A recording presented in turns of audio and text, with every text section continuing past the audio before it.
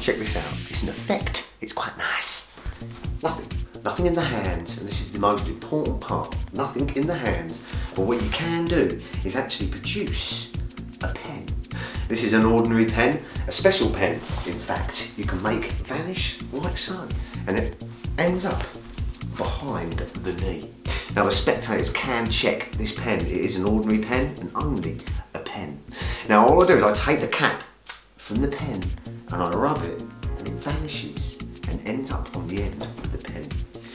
You've got to be careful, it's when you tap it, one, two, three, it vanishes. It vanishes completely and ends up behind my knee. But watch the cap. On the count of three, the cap will disappear.